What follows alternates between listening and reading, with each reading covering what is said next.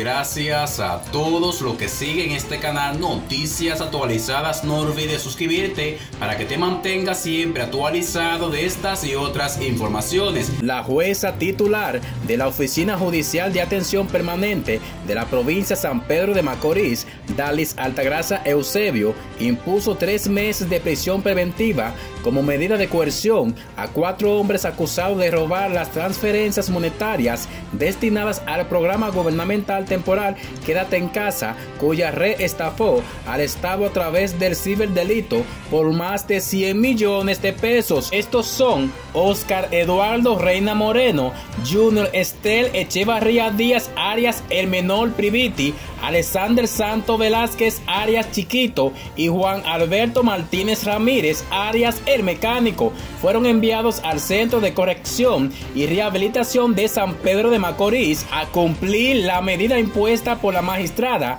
a solicitud del fiscal Zuleika Mateo Torres de la Procuraduría Especializada contra Crímenes y Delitos de esa localidad.